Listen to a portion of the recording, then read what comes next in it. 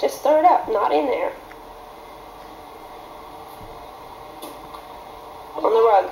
On the rug.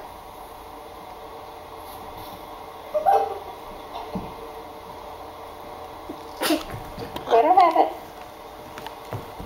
Oh, let him fight.